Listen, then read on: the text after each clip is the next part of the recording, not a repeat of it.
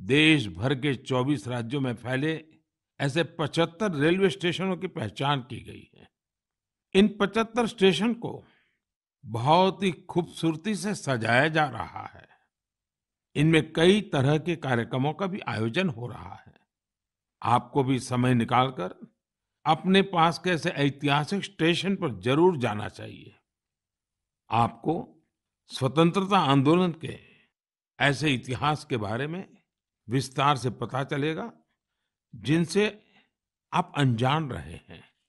मैं आसपास के स्कूल के विद्यार्थियों से आग्रह करूँगा, टीचर से आग्रह करूँगा कि अपने स्कूल के छोटे छोटे बच्चों को लेकर के ज़रूर स्टेशन पे जाएँ और पूरा घटनाक्रम उन बच्चों को सुनाएँ, समझाएँ।